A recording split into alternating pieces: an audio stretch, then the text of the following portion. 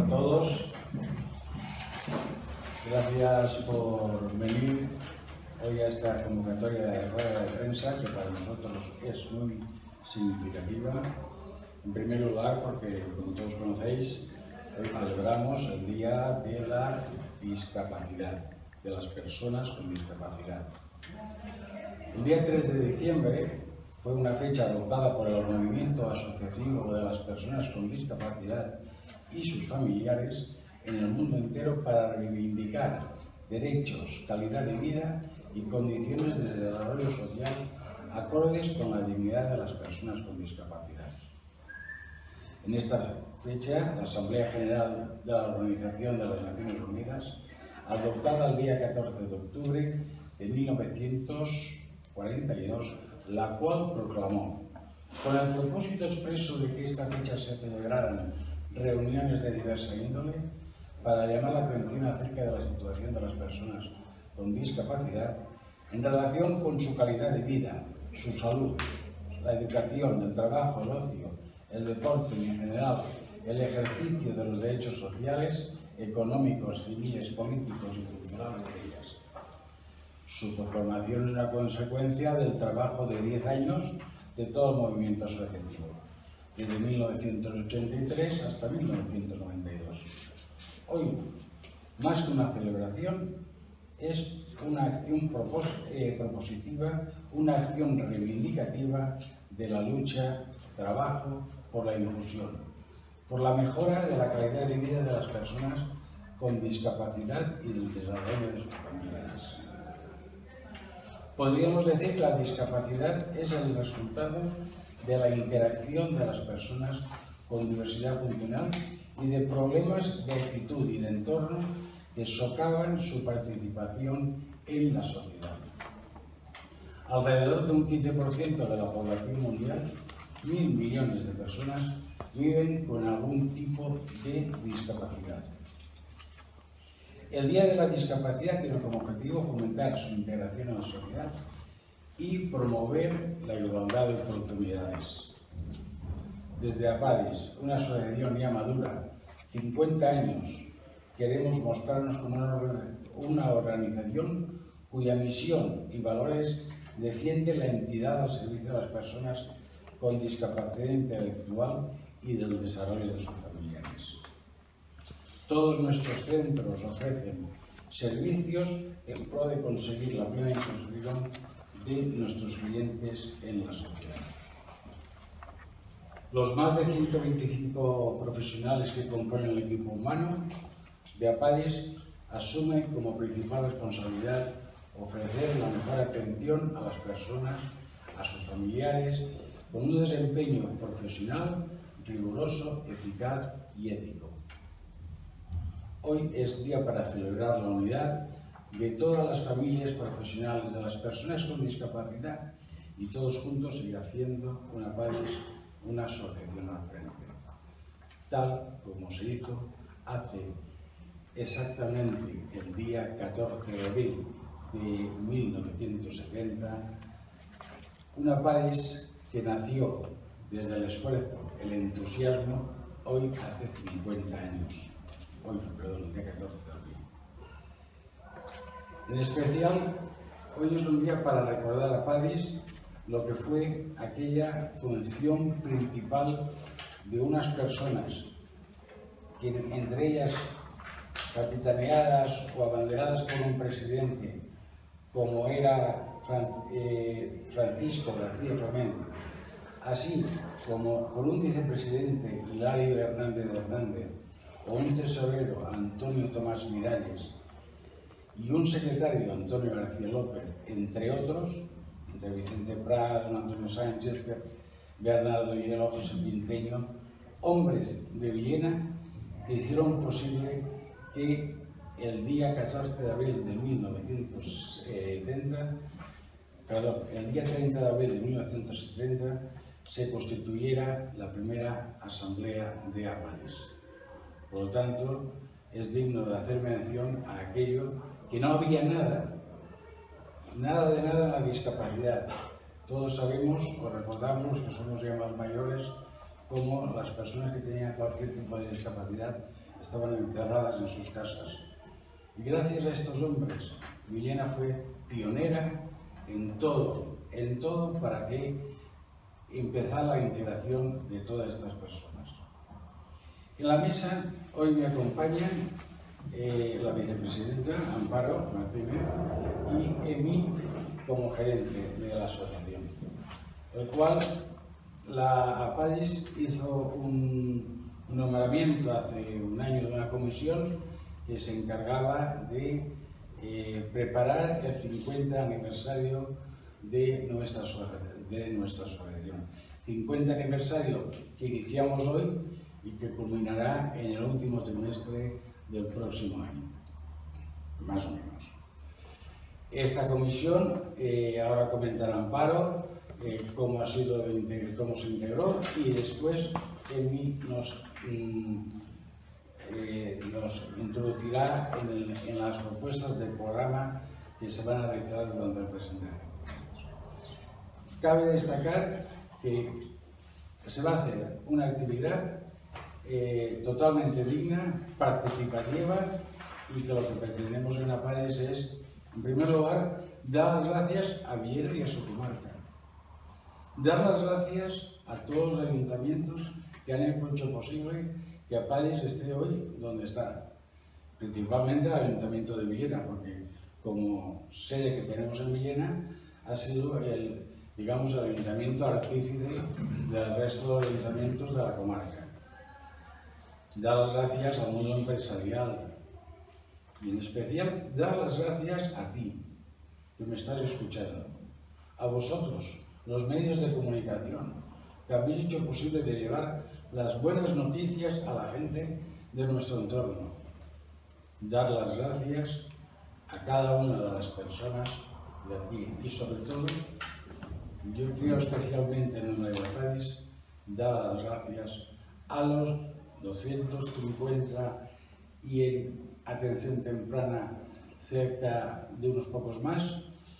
Eh, las gracias a todos ellos por darnos la oportunidad de aprender cada día de cada uno de nuestros clientes. Por lo tanto, le doy la palabra a Amparo, que con mucho gusto va a indicarnos lo comentado en lo que ha sido la comisión creada para celebrar el 50 aniversario. Hola, buenos días a todos por vuestra presencia y nada, comentaros que con la celebración del 50 aniversario lo que queremos es aprovechar todo lo que la gente de Villena, como ya ha dicho Jorge, y comarca, ha hecho por Apares. Gracias a que hace 50 años unas personas que llenas de ilusión, sin medios, pero con mucho entusiasmo, pusieron los cimientos para que hoy hayamos llegado hasta aquí y seamos referencia. Comentaros que la, la comisión empezó a trabajar en septiembre del 2018 con las directrices marcadas por Luis Ferri, que buen conocedor de la, de la asociación y un trabajador siempre con ella, elaboró un programa muy completo con el que empezamos a trabajar desde un principio. También quiero destacar que en los actos que se van a celebrar queremos que los protagonistas sean siempre nuestros usuarios. Como sabéis, van desde el nacimiento hasta la tercera edad. Y desde aquí quiero invitar a participar a toda la gente y a vivir este año con la misma ilusión que tenemos nosotros. Que aunque sabemos que es un proyecto muy ambicioso, sabemos que con la ilusión y el apoyo de todos seguro que será un éxito. Y deciros también que después de nuestros primeros 50 años, como seguimos teniendo muchas necesidades que cubrir, pues vamos a seguir trabajando con el mismo empeño que siempre. Y nada, daros las gracias a la prensa por la atención que siempre nos dispensáis y a la difusión que hacéis siempre de todas nuestras actividades. Y os paso con él que ella va a detallar el programa que vais a el apoyo. Buenos días a todos y todas.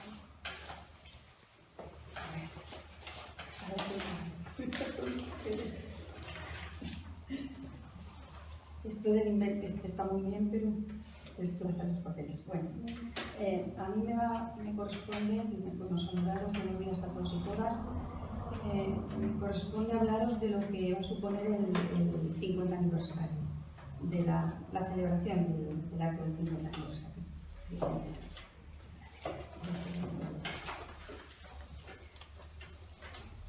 En primer lugar, eh, deciros que eh, se pensó en este acto como una oportunidad para reforzar lo que es la misión de APADIS, que es reforzar, o sea, reforzar lo que entendemos como objetivo último, que es la plena inclusión de, de las personas con discapacidad intelectual, también queremos con este acto aportar una mayor visibilidad a todas las personas y a todo el colectivo de APADIS y al mismo tiempo en este acto agradecer, eh, tenemos la oportunidad para agradecer a todas aquellas personas, entidades, instituciones que han hecho posible que APADIS sea hoy en día la institución que es, un referente en el sector. Los protagonistas, como ha dicho Amparo, van a ser en todos los actos nuestros clientes de todos los centros y eh, queríamos remarcar también que la celebración de este 50 aniversario va a suponer una, un acto de, un, continuo de actos de colaboración y participación y pretendemos que tenga un coste cero. Eh, los protagonistas, en primer lugar, van a ser las personas con discapacidad intelectual, sus familias, los profesionales y, por supuesto, todos los socios, socios de APADIS y todas las personas que vienen colaborando en APADIS. Como veréis, para la celebración de este, de este aniversario hemos eh, añadido un lema a la imagen de APADIS. El lema eh, es 50 años de ilusiones e inclusión. Por supuesto, como, como, ya he dicho antes, la palabra inclusión es el, el leitmotiv de APADIS, es el objetivo más importante que tiene París y la palabra ilusiones hace referencia a la motivación que ha tenido París desde el principio, las motivaciones para crear centros, recursos, proyectos, suma de, esfuerzos para conseguir lo que hoy en día es esta asociación y, eh, lo que representa no solo para la ciudad de Villena, sino también para todo el sector. Y eh, llegados a este punto, yo creo que ya me, toca explicaros un poquito en qué va a consistir el programa. En primer lugar, eh, para, para, dar difusión a esta, a esta, serie de actos y para darnos a conocer, como os he dicho, la PADIS tiene, pretende tener mayor visibilidad, hemos confeccionado un díptico eh, con, el, con, una breve exposición de lo que es APADIS y por dentro una breve también exposición de lo que significa el trabajo en los centros y los y lo que, lo que supone los centros de, desde atención temprana a todos. Y eh, os voy a hacer el, los actos previstos para la conmemoración de esta efeméride, eh, son muy variados y, como he dicho, pretendemos que participen todos centros, servicios, población, etc. En primer lugar, está prevista que haya, es un programa flexible, es un programa abierto, solo voy a hablar de algunas cosas que ya están más o menos claras, pero a lo largo de, todo el año se van a ir sucediendo muchas actividades, como podéis comprobar. Primero va a haber una exposición de dibujos que se va a llevar a cabo en la Casa de Cultura a lo largo de todo el mes de diciembre. Esta exposición de dibujos será, eh, la, la, la, prepararán los clientes de todos los centros y recursos que tiene APADIS. Y después, en el mes de marzo, el día 5 de marzo, se va a estrenar una exposición fotográfica en la Casa de Cultura, una exposición fotográfica que lo que pretende es recoger lo que ha sido APADIS a lo largo de estos 50 años, con el trabajo que se ha llevado a cabo, actividades lúdicas en fin, un recorrido por todo lo que supone esta trayectoria eh, mm, que conmemoramos. Apadis siempre ha estado muy preocupada por lo que significa la cultura, por lo que significa la formación y eh, dentro de, estos actos también está previsto que haya una conferencia que se, que se, titula Aportaciones de la neurociencia sobre discapacidad intelectual y los trastornos del neurodesarrollo. Va a ser una conferencia que va a contar con ponentes de alto nivel. Eh, ya hemos contactado con el director del Instituto de Neurociencias, con el director del Instituto Valenciano de Neurología Pediátrica y será una conferencia abierta que todavía tenemos eh, la fecha concreta. Además, se van a llevar a cabo jornadas de puertas abiertas en los centros, Pretendemos hacer una fiesta también popular con, motivo de la celebración del 50 aniversario y además cada centro irá salpicando todo, todo durante todo el año actividades propias de cada, de cada recurso. Y al final cerraremos el año con un concierto eh, que se llevará a cabo en el, en el Teatro Chapí, con sorpresas y con más cosas que me han advertido que no las cuente todas ahora para no desvelar todo, todo, puede contar, todo no Pero en líneas generales, esto va a ser la celebración del 50 años.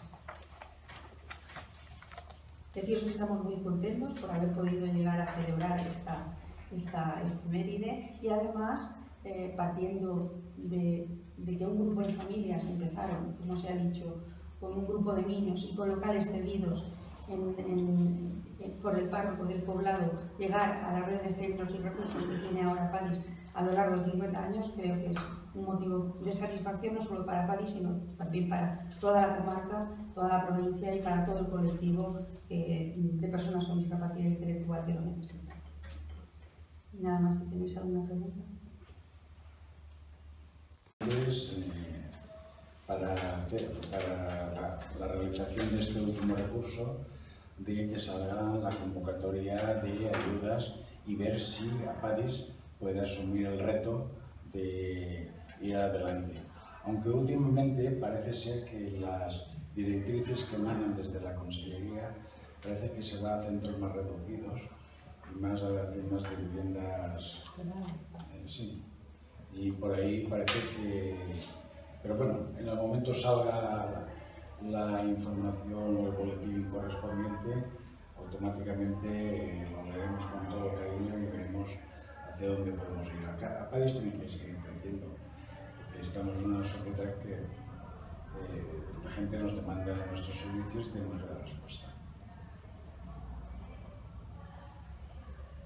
Fue en los primeros inicios, porque hoy en día tenemos una administración que más o menos funciona, nos da dinero, atendemos, pero en los primeros que tenían su, propia, su propia ilusión y su esfuerzo. París es el gracias a estas personas y a lo largo creo que han sido, tiene por aquí los presidentes que había tenido París, sí, 12 presidentes con sus correspondientes juntas directivas los que han hecho posible que París sea hoy y esté celebrando el 50 aniversario. Nuestro reconocimiento a estas 12 personas y a sus juntas directivas. Empezó y les pidieron unos locales a estos, a estas, para atender a seis niños con discapacidad intelectual en la, parroquia del barrio San Francisco. A partir del año 1964 empezaron a buscar locales que creo que se materializó la compra en, el año, torno al año 69-70 eh, en Luciano López Ferrer. Y allí se trasladaron todos los recursos que entonces tenía París. Y han estado, eh, allí ha estado el pueblo, ha estado atención temprana, administración, hasta hace bien poco, porque el colegio se inauguró en el año 2000 atención temprana, donde estamos ahora en el año 2009. Quiere decirse que Luciano López Ferrer ha sido un poco el, el, germen, el, cultivo de todo lo que luego ha, crecido. Hay un dato importante, eh, en aquellos momentos el patrimonio familiar de cada uno de los componentes eh, se tuvo que poner como garantías para poder sacar la operación de crédito que en aquellos momentos, no sé si fue la Caja Provincial, pero me suena más o menos que fue esta entidad la que concedió el préstamo para poder adquirir eh, precisamente el entresuelo que tenemos. Y eso, pues bueno, tenemos que saber y reconocer los que hoy tenemos los chavales eh, en casa que aquellos estaban en la misma situación que nosotros, aquella generación estuvo en la misma generación que nosotros Pero sin embargo, hoy contamos con recursos gracias al esfuerzo de estas personas. Es que esto tenemos que tenerlo muy claro. Las cosas no se nos dan dadas. Hay que luchar, como dice el Día de la Discapacidad, hay que luchar y hay que hacer para que la, eh, se convierta en realidad lo que tan necesario es para las personas con discapacidad.